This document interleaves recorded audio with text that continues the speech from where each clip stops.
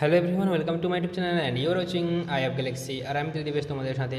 So আজকের এই ব্লগটি বানাতে চলে শিলিগুড়ি ইনস্টিটিউট টেকনোলজি বা এসআইটিকে নিয়ে। তো তোমরা যারা জানো না, তাদেরকে আগে থেকে বলে রাখি, শিলিগুড়ি ইনস্টিটিউট টেকনোলজি বা এসআইটি হলো শিলিগুড়ির তথা নর্থ বেঙ্গলের সবথেকে বড় টেক এডুকেশন কলেজ ঠিক আছে? এখানে বিটেক বিসিএ এমসিএ তারপরে হোটেল ম্যানেজমেন্ট তারপরে রিসেন্টলি অ্যাপ্রুভাল পেয়েছে ডিপ্লোমা পড়ানোর জন্য। তো এরকমই সব কিছু পড়ানো হয়ে থাকে এখানে। তো আমি বেসিক্যালি এইসব নিয়ে আলোচনা করতে যাচ্ছি না। আমি বেসিক্যালি দেখানোর চেষ্টা করছি টোটাল কলেজ ক্যাম্পাসটা কীরকম। ক্যান্টিন জিম তারপরে প্লেগ্রাউন্ড তারপরে কলেজ ক্যাম্পাস এসবই আমি দেখানোর চেষ্টা করেছি। সো চলো দেখে দেখে নেওয়া যাক।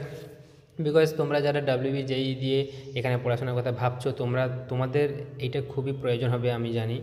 সো তোমরা দেখতে থাকো। আর যারা পাস আউট স্টুডেন্ট সো তারা তো দেখে তোমাদের সব স্মৃতিগুলো আশা করি একদম তরতাজা হয়ে উঠবে বিকজ এখান থেকে চার বছর যাতায়াত করেছ তোমরা। তো চার বছরের প্রত্যেকটা দিন, প্রত্যেকটা মুহূর্ত যাতে ভেসে ওঠে তোমাদের সামনে। সো সে চেষ্টাই রইল। চলো দেখানো যাক শিলিগুড়ি ইনস্টিটিউট অফ টেকনোলজিটা কেমন আর কলেজ ক্যাম্পাসটা কীরকম। তো এইভাবে চারিপাশে মোটামুটি আপনারা সব থেকে বেশিটা দেখতে পাবেন সেটা হচ্ছে চায়ের বাগান। যারা দক্ষিণবঙ্গ থেকে যাবে আশা করি, তারা প্রথম দেখেই একদম লাভ অ্যাট ফার্স্ট সাইড বলে না, দেখেই একদম প্রথম দেখাতেই ভালো লাগতে বাধ্য হবে এই কলেজটা আর এই হচ্ছে সামনে ফ্রন্ট ভিউ কলেজের আর এরকম সামনেই বাগান আছে, বসে তোমরা গল্প করো, কথা বলো, কিংবা পড়াশোনা করো, যা কিছুই করতে চাও, সামনের ফ্রন্টে বেঞ্চ টেঞ্চ রাখা আছে, ওখানে সব কিছুই করতে পারব।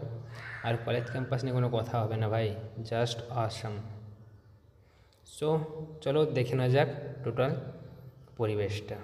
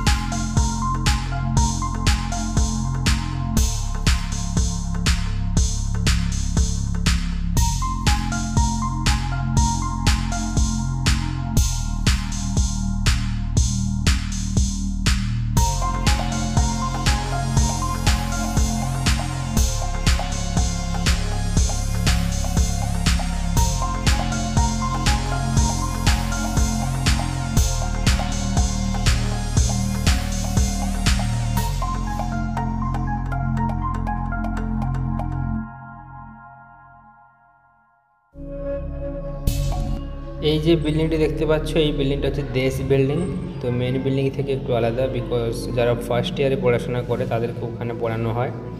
সামান্য র্যাগিং থেকে যাতে ফ্রিলি থাকতে পারে, তো সে কারণেই নাথিং এলস সব ডিপার্টমেন্টেরই ওখানে পড়ানো হয় ফার্স্ট ইয়ারে আর এগুলো ক্যান্টিন ছোটো ছোটো ক্যান্টিন এখানে দুটো আছে।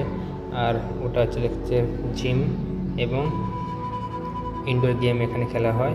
আর একদম বাম সাইডেরটা যেটা দেখতে পাচ্ছ, ওটা হচ্ছে ক্যান্টিন তো এটা হচ্ছে এসআইটি ম্যান ক্যান্টিন আর এটা হচ্ছে বাস্কেটবল প্লেগ্রাউন্ড ঠিক আছে?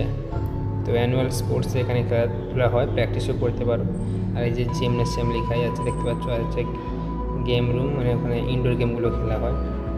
সো এখন আমরা যাব মেন ক্যান্টিনে আর লকডাউনের সময় আমি ভিডিওটি বানাচ্ছি সো এখানে ছেলেদেরকে দেখা যাচ্ছে না। সামনে ঢুকলেই ডান হাতেই তোমরা পেয়ে যাবে টুটুস ফুড এবং চার্ট পেয়ে যাবে কোন খাবারের দাম কেমন। যথেষ্ট কম পয়সাতে ভালো সুস্বাদু খাবার এরা পরিবেশন করে থাকে। সো তোমাদেরকে এখানে মানে নিরাশ করবে না যে এত টাকা নিল, এত কম খাবার কিংবা এত বেকার খাবার, না সেরকম নয়। মোটামুটি খাবার একটা লেভেল পাবে, ঠিক আছে? একটা লেভেলের খাবার দেবে তোমাদেরকে।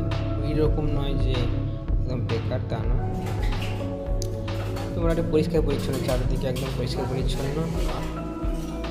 সো ক্যান্টিনে এসছি। অনেকদিন পর খাব না, সেটা কী করে বসছে চলো, অল্প কিছু খেয়ে নিই, খেয়ে নিয়ে তোমাদের আর বাকিটা দেখাচ্ছি।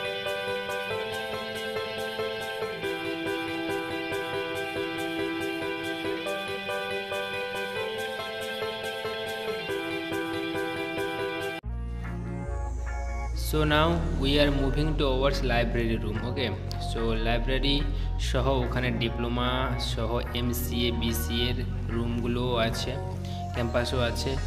আর সামনে ওই যে মাঠটা দেখতে পাচ্ছ, এখানে মিনি ক্রিকেট তারপরে ব্যাডমিন্টন এসবই খেলা হয়ে থাকে। কিংবা মিনি ফুটবলও খেলা হয়ে থাকে, মাঠটা ছোট আর বড় ক্রিকেট ক্রিকেট গ্রাউন্ড আছে সামনে থেকে এগিয়ে গেলে ওটা ওয়েট করো একটু পরেই আমি দেখাচ্ছি। আর সামনে মোটামুটি এখন আমরা যাব লাইব্রেরি রুমে ঠিক আছে? লাইব্রেরি রুমে যাব যে সামনে লাইব্রেরি রুম আর লাইব্রেরি রুমের সামনে আছে মোটামুটি ভলি কোর্ট আর এটা হচ্ছে ডিপ্লোমার ক্যাম্পাস আর সামনে এখানে দেখতে পাবে সেন্ট্রাল লাইব্রেরি এই সেন্ট্রাল লাইব্রেরি থেকে তোমরা যাবতীয় বই তোমরা পেয়ে যাবে। আর ওই সামনে এগুলো ওয়ার্কশপ রুম তো সবই দেখাবো। তো চলো আপাতত লাইব্রেরিতে যাওয়া যায়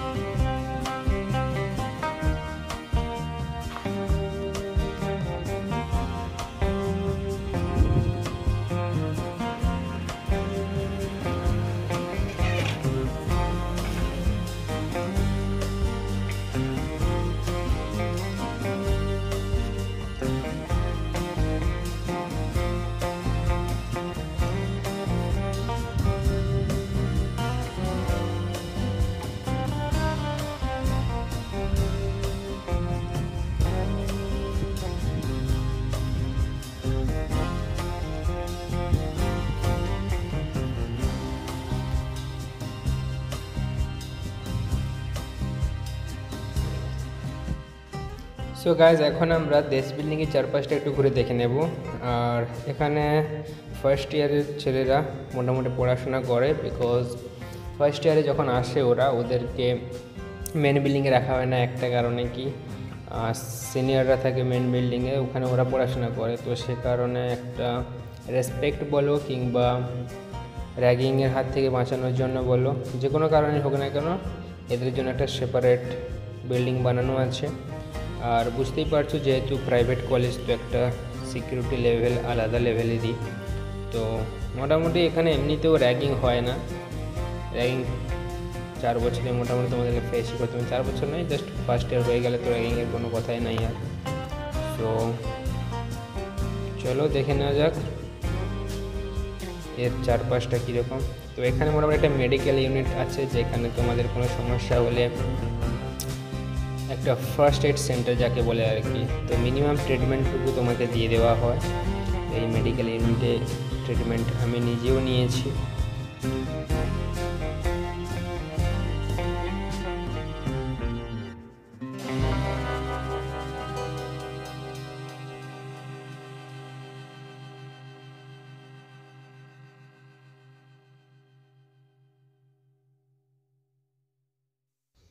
সো এটা বেসিক্যালি দেশ বিল্ডিংয়ের মেন গেট এখান থেকেই এন্টার করতে হয় এবং বেরোতে হয়।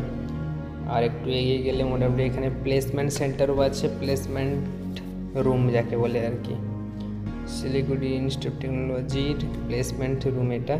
আর সামনে কয়েকজনের সাকসেস স্টোরি চিপকানো আছে। আর এই সাইডটা হচ্ছে ব্যাক সাইড ঠিক আছে? পেছনের দিক। মানে এখানে যাবতীয় ফিনান্সিয়াল কাজকর্ম হয়। যেমন তোমার ফিস ক্লিয়ার করা ফিস জমা দেওয়া, এবার কোনো কোনো এক্সাম ফিস জমা দেওয়া, এসবই আর কি। তো বুঝতেই পারছ, কলেজের ফিনান্সিয়াল ডিপার্টমেন্ট আর কী কী হতে পারে। তো এগুলোই, তো এগুলো ক্লিয়ার করার জন্য বা এগুলো কোনো সমস্যা হলে তার সমাধানের জন্য এইখানে আসতে হয়, এখানে এসে ডিপার্টমেন্টের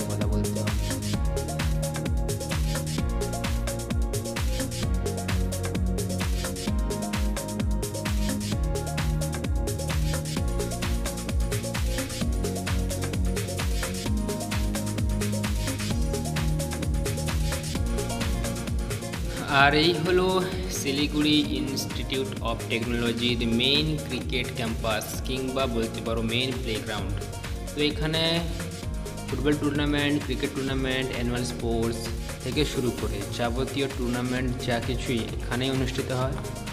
ইভেন অ্যানুয়াল ফাংশানও এখন থেকেই আশা করি এখানে অনুষ্ঠিত হওয়ার কথা। তো যাই হোক, এই হচ্ছে শিলিগুড়ি ইনস্টিটিউট অফ টেকনোলজির চারদিকের পরিবেশ।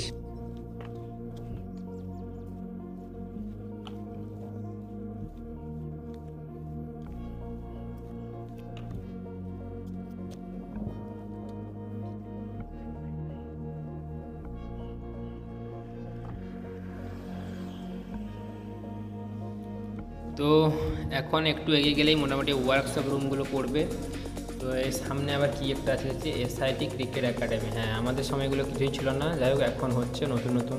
তো আপগ্রেড হতেই থাকবে এখন। তো যাই হোক, এখানে সিভিল ওয়ার্কশপ তো এখানে ওয়ার্কশপ সেন্টারগুলো আছে। যারা ইলেকট্রিক্যাল ইলেকট্রনিক্স কিংবা সিভিল যা, যাদের যা যা ওয়ার্কশপ হয় সব কিছু মোটামুটি এই সেন্টারগুলোতেই মানে এই রুমগুলোতেই হয়ে থাকে। তো কি বলব, একদিন যদি তোমাদের কোনো কারণে মিস হয়ে যায় একটা ওয়ার্কশপ তো ওরা মোটামুটি তোমাকে একদম যতদিন না কলেজ ছাড়ছো জিজ্ঞেস করতেই থাকবে, কেন আসিস নি? কী হলো? অ্যাটেন্ডেন্স নাই তো তোমার। তোমাকে কি মার্কস দেবো? তোমাকে মার্কস দেওয়াই উচিত না তোমাকে ফেল করিয়ে দেওয়াই উচিত। এইসব একটা একটা যদি কখনো মানে অ্যাটেন্ড না করো। তো ভাই, জানি না এগুলো তোমাদের নিজেদের রিক্সের উপরই করবে, বাঙ্ক মারবে, কী করবে। যাই হোক, আজকের ব্লগ এই পর্যন্ত। দেখা হচ্ছে পরের ব্লগে যদি ভালো লেগে থাকে শেয়ার করে সাবস্ক্রাইব করো আর কমেন্ট করে জানিও। কেমন লাগল ভিডিওটা সো বাই টেক কেয়ার